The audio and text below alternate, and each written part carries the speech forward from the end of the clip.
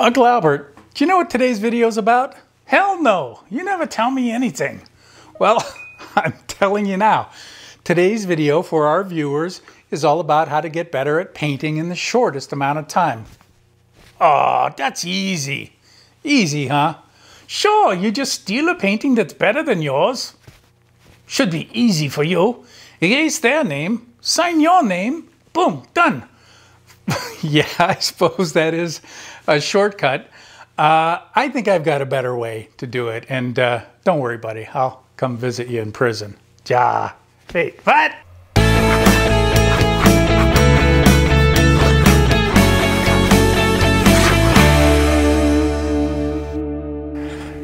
Alrighty. I have some fresh videos in the works for you, including today's video, which is the start of a series that features small paintings done quickly, just as if I were painting on location. But for now, I'm going to do these in my studio because I can control things much better, like lighting and surface glare. And you can actually see what I'm doing every step of the way. Now eventually I'll be doing some plein air paintings and I'm going to show you my outdoor setup, what I found works best for me. Now this is the painting that I'm going to be doing for you today. It's a 6 by 8 and it took me 30 minutes to do. Now is this the best painting I've ever done? Well, no. Ha, you ain't kidding. Be nice. You want nice? It's in the dictionary between never and not gonna happen. Now it's a backlit scene. With changing light on a scene like this, that's about the most time that you're gonna have on location before the light's gone. It changes quickly. I'm doing the painting in real time, so it hasn't been sped up. Future paintings in this series range from 6 by 8s to 8 by 10s to 9 by 12s. The larger the painting, the more time that I'll allot to do it. Now you can get the photo that I'm using today in my photos folder link that I've put down in the description. There are no copyrights to worry about ever, and most of the photos that I've worked from to do my videos here on the channel, you'll find there, and you can paint to your heart's content. And real quick, before I get into this painting, I'm doing this series to drive home my point that in order to get better in the least amount of time, you should be doing a lot of small paintings quickly instead of large painting that has unlimited time. Small paintings have a number of benefits. First of all, it makes you distill the scene into a few elements. You have to make quick decisions, such as what's your focal point?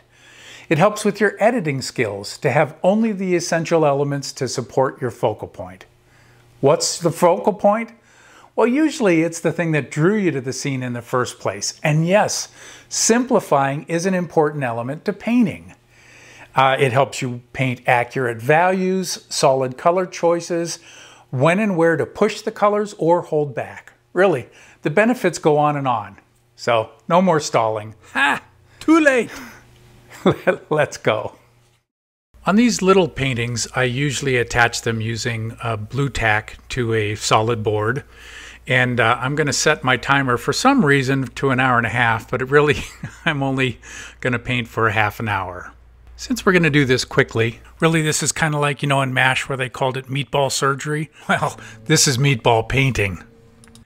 So this is the uh, the image I'm going to be working from, and I'm looking to kind of pick out a few things in order to get across uh, this scene without filling it up uh, too much. You know what? Let me just show you what my game plan is and how I plan on approaching this in the field. Well, getting into this, okay, we're out in the field, we come across this scene, we want to paint back lighting, but holy moly, there is a lot of chaos here. Well, we need a focal point. And my focal point is going to be this tree trunk here, maybe add a branch or two. Uh, and But all of this area surrounding it with the foliage, that's going to be our focal point.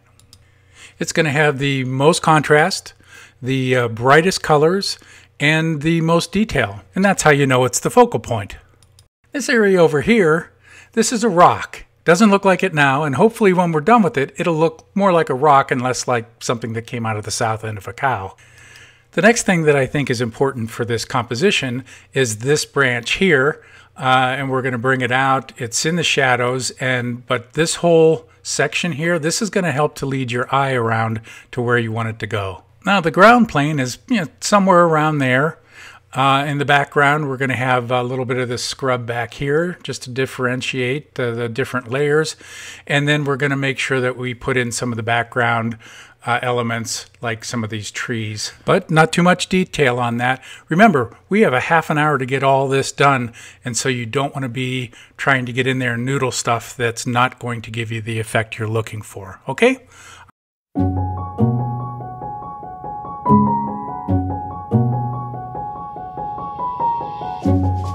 Getting started on this, you can see that I've got my timer ready to go. Uh, I've got my reference there down in the lower right and uh, I'm going to go ahead and just lay this in pretty quickly. I have not started the timer yet. Why? because I don't want to. uh, you know, I'm just throwing this in as quickly as I can, and I'll, I'll start the timer when I start painting. Um, but this shouldn't take you any more than a couple of minutes. hey, my painting, my rules.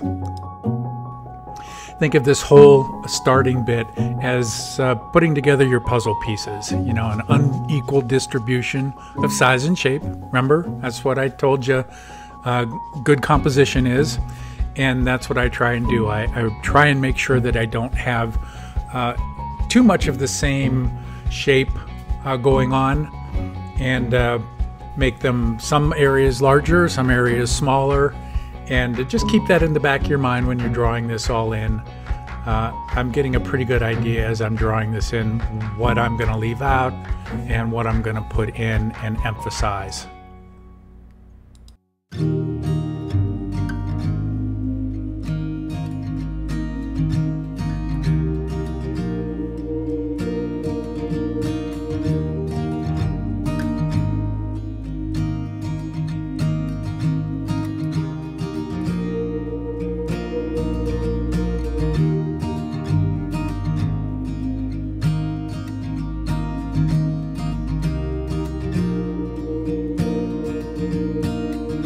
So there we go.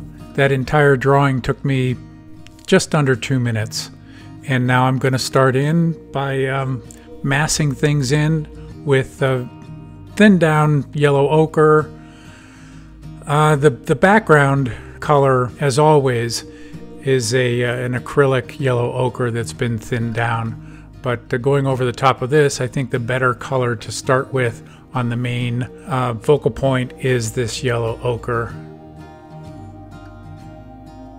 is basically all I'm doing here is trying to get as much of this canvas covered as quickly as possible.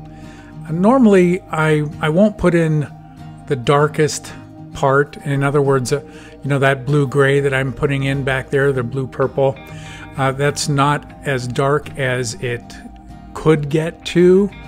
Uh, I leave myself a little bit of room in order to be able to kind of work from the middle a little darker and then or a little bit brighter. And I will uh, go in and cut in a little bit farther than what I think uh, I'm going to want to do. See there, I can go ahead and, and add a little bit darker areas there. But um, you don't have to hit it exactly out of the park right away. Uh, as you're working on this, it's thinned down just a little bit with some uh, Turpenoid or some Gamsol is really what I use but it's thinned down a little bit so that as you're working around your canvas, that Turpenoid or Gamsol will dry off pretty quickly. And so even though it's a little bit slippery uh, when you first put it down, as you're working around your uh, your canvas, by the time you get back to it, it's going to be uh, easy enough to work on as long as you're not working too thickly. Uh, is that a word? Sounds like a word that Scott Adams would use in Dilbert. Uh, win bigly. as long as you're work, not working too thick, you know, just kind of get it in there and, and get it covered. And so that's why I'm working all over the uh, the place on this. And remember, as you're putting things down, if you put something down, you know, kind of test it a little bit and see how you like it. But if you put it down and you realize, oh, that's really wrong, rather than trying to go slippery over the top of it, wipe it off. wipe it off and then you can start uh, over the top of that again a lot easier than trying to put a different color over it and uh, sliding it into uh, where you want it to be so don't be afraid to wipe things off if you find that they're going sideways on you uh, it's it's a pretty good uh, technique to have and it can be your friend uh, when when things are going wrong which they will you can expect it just like death and taxes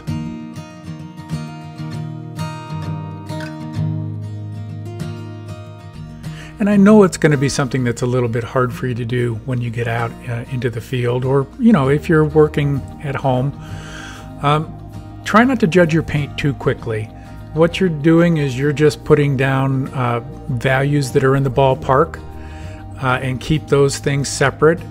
And uh, don't analyze every little mark that you put down. I actually have to remind myself of this. I have a saying taped to my easel as I'm painting that I look at every day that says, don't judge your paint too quickly.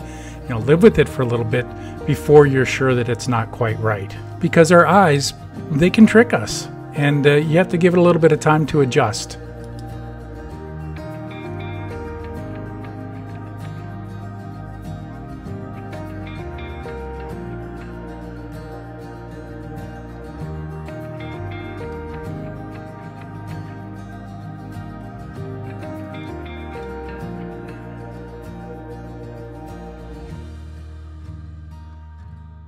Uh, you're just really trying to get your canvas covered at this point. Don't I don't even really pay attention to any of that. Just knowing that I'm going to go in and manipulate that paint once it's all down. But uh, putting it down, uh, one of the worst things that you can do is just start looking and say, "Oh well, you know that brushstroke isn't exactly right." That's not what this is about. Uh, really, you're trying to get a light effect and uh, the faster you can get it down, especially something that's as fleeting as this backlit scene, uh, the better off you're going to be. So just work on getting it down. Know that you can wipe things off uh, if you don't feel like they're going well, uh, and just keep moving. Just keep moving. Now, having said that, I do pay attention. Let's say if I'm putting in that middle ground there or the, the ground plane, I try and keep my brush strokes in the direction that uh, something is growing. And so that ground plane, I want it uh, kind of vertical or a little bit uh, diagonal. I try and keep from being all over the place with the direction of my of my strokes. I want to have a little bit of uh, control as far as knowing which way something is growing. And uh, if you're going in all different directions, uh, that way lies madness. So try and keep it from uh, being too much. A lot of this you'll notice that that I'll put in kind of vertically or I'll put in diagonally and then go in and, and kind of soften things up from there. But uh, as long as you're putting things in so that uh, you know you're getting your general values in, uh, you're going to be able to go in and manipulate that as you go along but it's just important to to know that um, you want to try and keep your brushstrokes going in the direction that things are growing.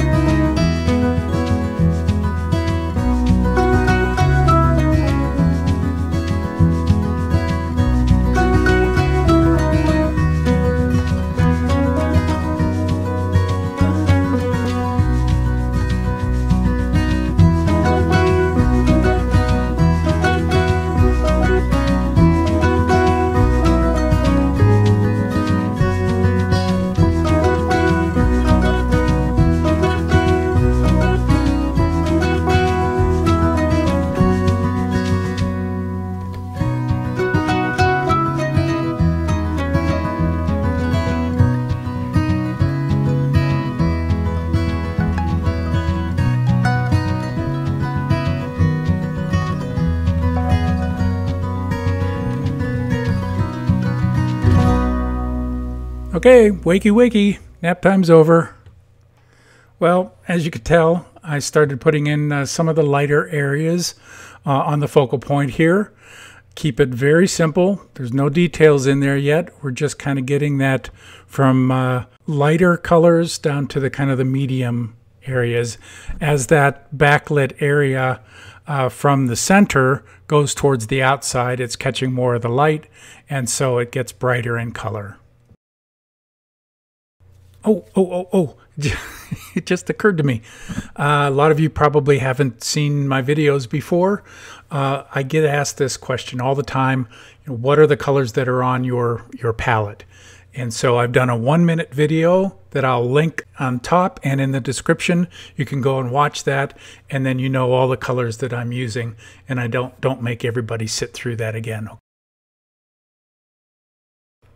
Now that everything is covered, this is the time for me to go in and define things, adding details, and just basically fleshing out what's already there. Uh, if something's a little bit too bright or too dark in the background, uh, I address it now. And uh, this is the time that I start being concerned with how the paint is going to look and making sure that my eye is going to be drawn to that focal point of that vertical tree in the center and all of those wonderful backlit leaves. This is also the time that I go in and I adjust values. So um, remember how I said don't worry too much, you just need to be in the ballpark. Well, now's the time that I'm going to go in and uh, darken up some of those uh, leaves that are on the right hand side that, uh, that were too light. And then I'm going to add some color there in the background like I am. Just basically, I want to try and manipulate where your eye is going to go and uh, it's easy now to see that once all of the canvas has been covered. And I, I should say that this is also the time where I, I, I'm not using any thinner at all. I'm not using any Gamsol. This is just straight paint out of the tube uh, that's been mixed to the color that I want. Now I'm able to go over the top of uh, that thin down paint. It's had a little bit of time to set up and uh, I'm not putting the paint on real thick right now, but I'm putting it on definitely thicker than it was before. And then for the areas that I want to um, really pop off, you know, the, the lighter areas, those are going to be thicker uh, paint yet. So try and pay attention to your uh, the consistency of your paint. Once you understand how it works for you, you're going to be able to go in and uh, and paint over the top. I know a lot of people have a problem with being able to once they have something down, it gets real slick. Uh, a lot of this has to do with just lightly using your brush. Don't try and slam it in there because you're going to pick up what's beneath it. Just have a light touch and let your brush do the work. You don't have to, uh, you know, this. this just not a big bear. You don't have to wrestle it to the ground. Uh, you want to use the brush and let it do what it does best, and that's to make marks. I mean, it's basically a stick with hair on it, and there's a reason that people have used it all these years is because it actually does a pretty good job if you use it the way it's intended to be used. So a very light touch is all you're going to need in order to manipulate your paint to get it to do what you want it to do. If it doesn't, wipe it off and try again. It's just that simple. So pretty much it took me 10 minutes to get to this covered completely. Uh, and so in my four stages of painting, which I uh, have labeled crap, uh, the first one is to cover and cover your canvas. That's been done. Refine and adjust, uh, which is what I'm doing now and the last stage will be the finish. Uh, and so that would be the, the, pH uh, in crap. So um, right now we're just refining things. We're adjusting them so that uh, we have the, the values that we want and where we want them. And then uh, as I get that done, you'll see that I start adding in uh, some details, and that's the finishing part of it.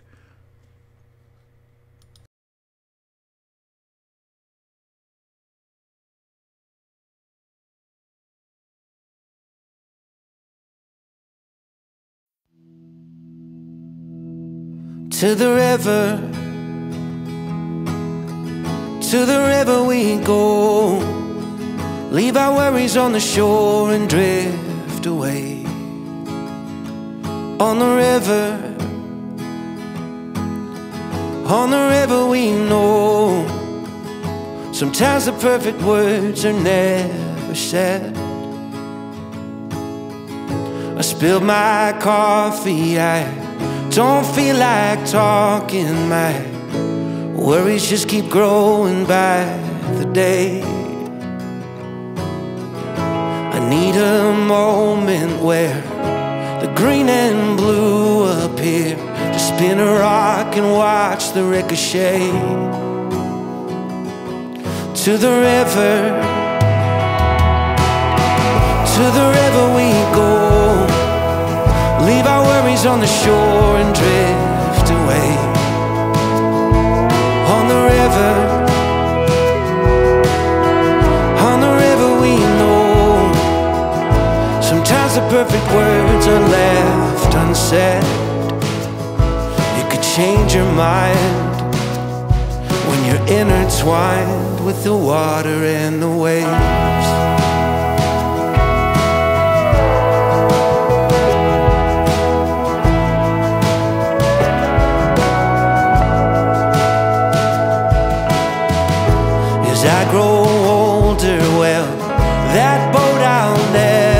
It works better than the pills the doctor gave. And with that old fishing pole, I still catch by the bucketful.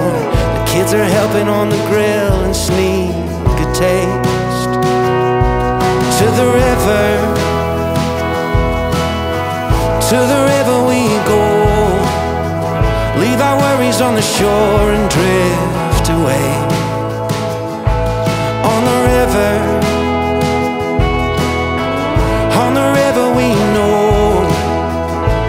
Sometimes the perfect words are never said. You could change your mind when you're intertwined with the water and the waves.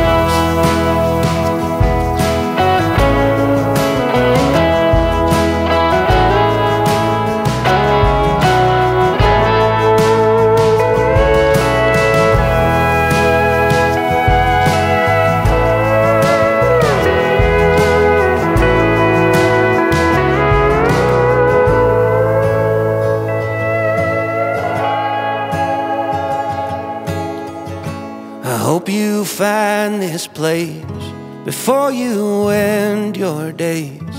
And if you see me out there, wave hello. Now, when I opened up this video, I was telling you that um, if you want to get better at painting faster, the way to do it is not to do big paintings uh, that take you months or weeks or years to do. The best way is to do a lot of little paintings so that you uh, you're not locked into one thing and you don't have unlimited amount of time to work on it. These smaller paintings are going to solidify in your brain exactly how to work with the paint and what works and what doesn't work. And if it doesn't work, then you haven't invested a whole lot of time. You can move on to the next one, and what you've done um, incorrectly is is uh, foremost in your mind. You don't have to try and remember. You know, you've just come off that painting. So, uh, really, I can't emphasize it enough. Do a lot of small paintings. I've got several of them that are already in the can that I'm going to be uh, playing for you. This will be a series on uh, doing quick paintings, and we'll we're, we're going to go from these little six by eights to an eight by ten to a nine by twelve, and you just work your way up uh, as far as size goes. And when you do that, uh, once you've got the six by eights uh, under your belt, the eight by tens, the nine by twelves are going to be a lot easier for you. So if you find that you like um, the concept of this, stick around. Uh, and here's my pitch for you. If you like what you see, uh, share it with your friends, and uh, maybe they'll get a kick out of it. Uh, if you don't have any friends, uh, hit the like button subscribe, and all of us here will be your friends. And uh, hit the notification bell, all that good stuff that every single YouTuber tells you. Uh, because it really does help the channel. And after all, what's more important than helping the channel? So as we're coming down the home stretch here, this is the time for you to slow down a little bit, step back more often. It's kind of important that you do that the entire time that you're working because you know you're right on top of it. But step back, see what edges need to be softened, uh, see what uh, extraneous details are in there that you don't need, and see where you could use uh, you know use some things like extra branches, things like that. Um, just take your time and uh, put down your sledgehammer now and uh, pick up your scalpel. This really is your time to fine tune uh, what you've orchestrated here and put things where you want them to be. Not so much uh, the tiny little details, we'll get to that uh, at the very end, but the things that uh, that you had in your mind that maybe aren't working quite as well as as you want them to be. Believe me, now that the timer has hit, uh, you know, the zero hour, your mind is racing and you're really trying to get everything in there uh, before that light changes. And this is the time where it's just straight paint. There's no thinner, uh, and you're putting it on uh, a bit thicker now, especially since you're doing the highlights. Those should always be put on the thickest. Coming down into the finish line here, go ahead and, uh, and stop it. Now, I'm going to do some detailing. Takes me five minutes. And I can do this at the end because I don't need the uh, the image anymore. I don't even if I'm standing there and the light is gone, I can do this because all I'm doing is adjusting things a little bit uh, that I feel like need to have a little more detail, whether it's the branches or some extra leaves there this is stuff that uh, that you can do at the very end. It'll really make your painting look like it's it's finished. Uh, up until now, uh, it's been just the the bare essentials. So we'll put a few uh, lights in along the tree trunks to make it look like the light is catching in a couple of places. Maybe a couple little darks here and there, and uh, really that's that's about it. Now, when you get back to the studio, if you're painting this on location uh, generally, I don't look at what I did that day. I'll wait until the next morning uh, because you have a fresh eye. Sometimes you're pleasantly surprised. Sometimes you remember it exactly the way it is. And sometimes uh, it's just horrid. And, and, you're disappointed. But you know that's that's the way it goes when you're painting out uh, on location you uh, your eye gets a little bit stale as you're standing there and looking at it. This is your time before it completely dries to go in uh, the next morning and go ahead and uh, do any adjusting that you want to do. And so, you know, the purists will say, no, you can't touch it once it gets into the studio. But, you know, my painting, my rules. So uh, I like to uh, to touch something up before it bothers me and I release it uh, if it if it does go out. Now, usually I use these just for learning. And uh, here is the final painting once I've done all the touch up on it.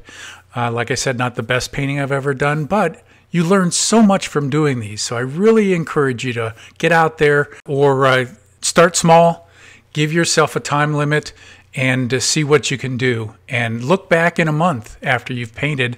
I really think you'll be pleasantly surprised by your progress. Thanks for watching. You can follow me on Facebook or Instagram or visit my website. And as always, I'll see you down the road.